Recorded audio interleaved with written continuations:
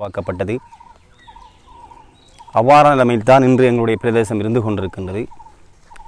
இதன் அடிப்படையில் நாங்கள் இந்த தேர்தலை எதிர்கொள்கின்றோம். கடந்த காலங்களில் எங்களுடைய மக்கள் மத்தியிலே எங்களுக்காக உழைக்கின்ற கட்சி என்ற அடிப்படையில் அனைவரும் ஓரணியில் நின்ற வரலாறு உண்டு. தற்காலத்தில் அந்த ஓரணியாக நின்ற அந்த ஒற்றுமையை சீர்குலைக்கின்ற அதிகமான பிரச்சாரங்கள் முன்னெடுக்கப்பட்டு கொண்டிருக்கின்றது. இந்த பிரச்சாரங்களிலிருந்து எங்களுடைய மக்கள் தெளிவான விளக்கங்களை பெற்று எங்களுடைய வெற்றியை நீங்கள் உறுதி செய்து கொள்ள வேண்டும். அவ்வாறு உறுதி செய்யவில்லை என்றால் எங்களுடைய நிலைமை கேள்விக்குறியாகிவிடும். எனவே அந்த ஒரு நிலைமையிலிருந்து தான் இந்த தேர்தலை எதிர்கொள்ள வேண்டியவர்களாக நாங்கள் இருந்து கொண்டிருக்கின்றோம். குறிப்பாக உங்களுக்கு தெரியும் அம்பாறை மாவட்டத்திலே எங்களுக்கு ஒரே ஒரு தமிழ் பிரதிநிதி பிரதிநிதித்துவம் தான் கிடைத்து வருவது. அவ்வாறான பிரதிநிதித்துவத்தை இல்லாமல் செய்வதற்காக பிற மாவட்டங்களிலிருந்து இங்கு பலரை இறக்குமதி செய்து எம்மையெல்லாம் மக்கள் மத்தியிலே ஒரு வித்தியாசமான ஒரு போலி பிரச்சாரங்களை முன்னெடுத்து கொண்டிருக்கிறார்கள். உங்களுக்கு தெரியும் எங்களுடைய நாவிதன்மொழி பிரதேசத்திலே ஒரு புதிதான தேர்தல் முறை வந்ததன் பிற்பாடு நாங்கள் தமிழ் தேசிய கூட்டமைப்பு சார்பாக ஐந்து உறுப்பினர்களை நாங்கள் பெற்றிருந்தோம். மொத்தமாக பதிமூன்று உறுப்பினர்கள். இதிலே ஏழு உறுப்பினர்களை நாங்கள் பெற்றிருந்தால் தவிசாளர் நாங்கள் நினைத்த ஒரு ஆளை தெரிவு செய்திருக்கலாம். பிரதி தவிசாளரையும் நாங்களே தெரிவு செய்திருப்போம். ஆனால் அவ்வாறான சந்தர்ப்பம் எங்கள் எங்களுடைய மக்கள் எங்களுக்கு வழங்கவில்லை. நான் ஒவ்வொரு மேடைப் பேச்சுகளிலுமே பேசினேன். என்னென்று பேசினேன்? நீங்கள் எங்களுக்கு ஒழுங்காக வாக்களிக்காவிட்டால் நாங்கள் மாற்று சமூகங்களிடம் போய் மண்டியிட வேண்டியவர்களாக நாங்கள் ஆகிவிடுவோம் என்று சொல்லி. நாங்கள் ஐந்து உறுப்பினர்களை பெற்று எங்களுடைய சுயேட்சை குழுவாக இருந்த மின் சின்னத்திலே போட்டியிட்டவர்கள் மூன்று உறுப்பினர்களை பெற்றிருந்தார்கள். நாங்கள் அவர்களிடம் பேச்சுவார்த்தைகளை நடத்தி இருந்தோம். அந்த பேச்சுவார்த்தை பலனளிக்கவில்லை வெற்றி பெறவில்லை. அதன் பிற்பாடு முஸ்லீம்களாக இருந்த எங்களுடைய பிரதேச முஸ்லீம்கள் என்னுடைய என்னோடும் எனது கட்சி கௌரவ உறுப்பினர்களோடும் பேச்சுவார்த்தை நடத்தினார்கள். இங்கே தமிழ் மக்கள் எழுபது வீதமான தமிழர்கள் வாழ்கின்றார்கள். தவிசாளர் மு- ஒரு தமிழர்களுக்கே வழங்கப்பட வேண்டும். எங்களுக்கு முடிந்தால் ஒரு உபதவிசாளர் பதவியை தாருங்கள் என்ற அடிப்படையில் தான் என்னோடு பேச்சுவார்த்தை நடத்தியிருந்தார்கள். அவ்வாறு தான் நடந்தது. இது நாவிதர்மொழியில் மாத்திரமல்ல இந்த இலங்கை நாட்டிலே அவ்வாறான ஒரு தேர்தல் முறைதான் இருந்தது. அவ்வாறு தான் நடந்தது. இதே போன்றுதான் பொத்தீர் பிரதேசத்திலே அங்கே பதினெட்டு விதமான தமிழர்கள் வாழ்கின்ற அந்த இடத்தில் ஒரு தமிழர் பிரதி தவிசாளராக இன்றிருந்து கொண்டிருக்கிறார். அங்கே ஒரு முஸ்லிம் தவிசாளராக இருந்த சகோதரர் அவர்கள் என்னை போன்று பாராளுமன்ற தேர்தலிலே களமிறங்கி இருக்கின்றார். இப்பொழுது தமிழர் தான் அந்த பிரதி தவிசாளர் ஆக இருந்த பார்த்திபன் சகோதரர் பார்த்திபன் அவர்கள் இன்று அந்த தவிசாளர்களுடைய பணியை செய்து கொண்டிருக்கிறார்கள். இங்கு பேசுகின்ற பொழுது மாற்று கட்சியினர் சொல்லுகின்றார்கள் நாவிதமொழியை போன்று ஒரு இடம் முஸ்லீம்களாக இருந்திருந்தால் ஒரு முஸ்லீம் தவிசாளரை தெரிவு செய்திருப்பார்கள் சொல்லி. நான் நினைத்த மாதிரி பிரதேச சபையை மாற்றியமைக்க முடியாது. இதனை விளங்கிக் கொள்ள வேண்டும். ஆகவே இன்று நாவிதமொழி பிரதேசத்தில் தமிழர்களுடைய ஒரு அரசியல் அதிகாரம் இருக்கிறது என்கின்ற விடயத்தை நீங்கள் மறந்துவிடக் கூடாது. நாங்கள் அதைத்தான் செய்து கொண்டிருக்கின்றோம். எங்களுக்கு யாரும் உபதேசம் செய்ய வேண்டிய அவசியம் இல்லை நாங்கள் ஒரு சிறப்பான ஒரு நிர்வாகத்தை இங்கு ஏற்படுத்தியிருக்கிறோம். அந்த சிறப்பான நிர்வாகத்தை ஏற்படுத்துவதற்கு எங்களுடைய மக்கள் துணையாக இருந்தார்கள் நாங்கள் மிக ஒரு ஆயுத ரீதியான அச்சுறுத்தல் இருந்த காலகட்டத்தில் இந்த இந்த பிரதேசத்தின் அரசியலை சிறப்பாக முன்னெடுத்து வருகின்றோம். அதில் எந்த எந்த மாறுபட்ட கருத்தும் சொல்வதற்கில்லை. பல தேவைகளாக இருந்த இந்த பிரதேசம் இன்று ஐம்பதுக்கு மேற்பட்ட ஐம்பது வீதத்துக்கு மேற்பட்ட தேவைகளை நாங்கள் நிறைவு செய்திருக்கின்றோம். இங்கே இருக்கின்ற ஒரு பாரிய பிரச்சனை குடிதண்ணி பிரச்சனை. அதற்குரிய பணிகளை நாங்கள் முன்னெடுத்திருக்கின்றோம். எங்களோட உறவாடி பேசி கலைப்பவர்கள் இந்த கிராமத்தின் அக்கறை கொண்டவர்களுக்கு தெரியும். அவ்வாறுதான் இந்த நடவடிக்கைகளை நாங்கள் முன்னெடுத்துக் கொண்டிருக்கின்றோம். அதுக்கு அப்பால் இன்னொரு விடயம் பதினோரு மாகாண சபை உறுப்பினர்களை வைத்து முஸ்லிம்களுக்கு அடகு வைத்த ஒரு விடயம் பேசப்படுகிறது. நாங்கள் இரண்டாயிரத்தி பன்னிரெண்டாம் ஆண்டு மாகாண சபையிலே கிழக்கு மாகாணத்தில் பதினோரு மாகாண சபை உறுப்பினர்களை தமிழ் தேசிய கூட்டமைப்பு பெற்றிருந்தது. அந்த மாகாண சபையில் நாங்கள் முதலாவது அமர்வுக்கு போனவுடன் இந்த அரசாங்கம் முதலாவது பிரேரணையாக அங்கு தெரிவி முன்வைத்தார்கள் திவி நெகும சட்டத்தை. இரண்டாயிரத்தி பன்னிரெண்டாம் ஆண்டு. திவி நெகும சட்டம் என்பது எங்களுடைய மாகாண சபை அதிகாரங்களை குறைப்பதற்காக கொண்டு வரப்பட்ட சட்டம்.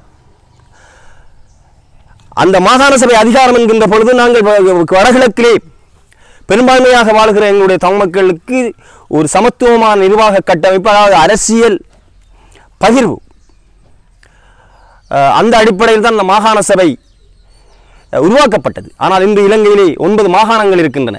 இந்த ஒன்பது மாகாணங்களிலும் ஒன்பது முதலமைச்சர்கள் இருந்திருக்கின்றார்கள் அவ்வாறான ஒரு சூழலில் திபிநகம சட்டம் வந்து அந்த மாகாண சபை அதிகாரங்களை குறைப்பதற்காக மத்திய அரசாங்கத்தால் எம் மீது திணிக்கப்பட்டது. அதில் சொல்லப்பட்டிருக்கிற ஒரு விடயம் என்னவென்றால் இலங்கையில் இருக்கின்ற ஒன்பது மாகாணங்களும் இந்த திபி நிகம சட்டத்தை ஆதரிக்க வேண்டும்.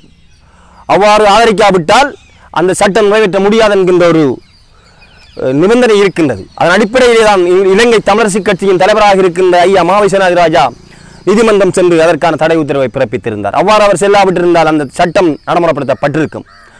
அவ்வாறான சூழலில் இந்த அரசு தரப்பிலே இருந்த மாகாண சபை உறுப்பினர் யாருமே அதற்கு எதிர்த்து குரல் கொடுக்கவில்லை.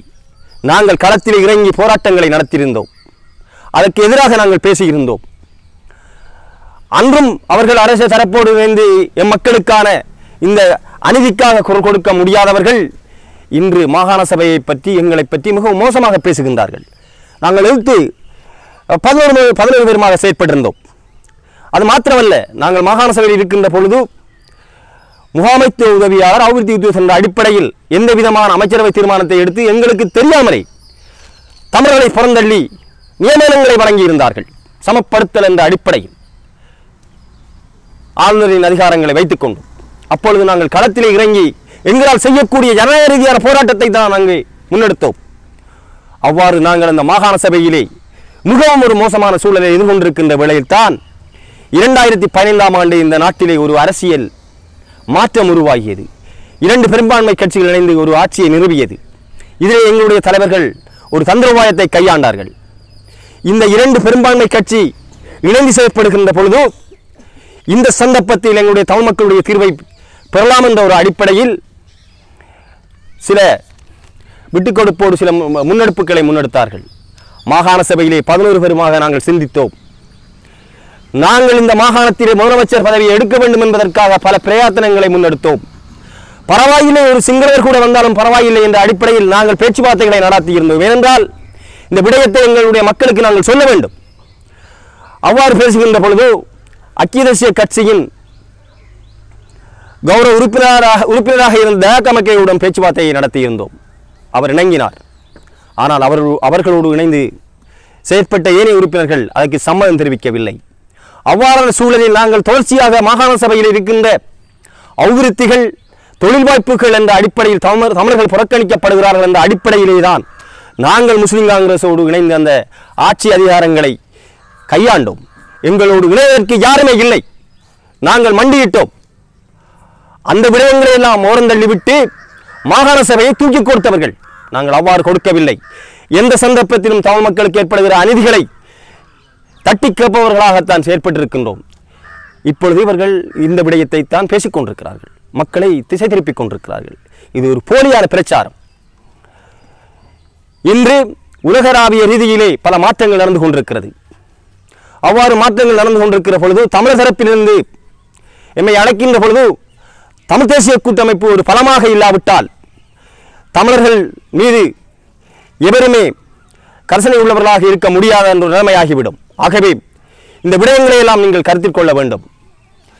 இப்பொழுது கல்முனை ஏனைய இடங்களிலேயெல்லாம் மட்டக்கிழப்பு மட்டக்களப்பு மாவட்டத்திலிருந்து இறக்குமதி செய்யப்பட்ட மட்டக்களப்பு மண்ணையும் மக்களையும் விற்று பிழைத்துவிட்டு இப்பொழுது அம்பாறைக்கு இறங்கி இருக்கிறார்கள் தமிழ் தேசிய கூட்டமைப்பால் செய்ய முடியவில்லை முடியவில்லையாம் கல்முனை தமிழீசனை தாங்கள் பெற்றுத் தருவோம் என்ற அடிப்படையில் ஒரு போலியான பிரச்சாரங்களை முன்னெடுத்துக் கொண்டிருக்கிறார்கள். உங்களுக்கு தெரியும் ஐக்கிய நாடுகள் சபையிலே முதலாவது அமர்வாக தமிழர்களுடைய பிரச்சனை பிரஸ்தாபிக்கப்படுகின்ற பொழுது கல்முனையிலே பலர் ஆர்ப்பாட்டங்களை செய்திருந்தார்கள். தமிழ் டிவிஷன் பெ- பெற்றுத் தருவதாக சிங்கள பெரும்பான்மை சக்திகள் அந்த ஆர்ப்பாட்டத்தை ஏற்பாடு செய்தது. நான் அந்த ஆர்ப்பாட்டத்தில் பங்கு கொள்ள போனவர்களிடம் அழைத்து சொன்னேன் எம்மை திசை மாற்றப் போகிறார்கள். இந்த ஆர்ப்பாட்டத்தை இந்த சந்தர்ப்பத்தில் நீங்கள் செய்திராதி செய்- செய்யாதீங்கள் என்று சொன்னேன். அதை மீறி அவர்கள் செய்தார்கள். செய்தி என்னவாக வந்தது?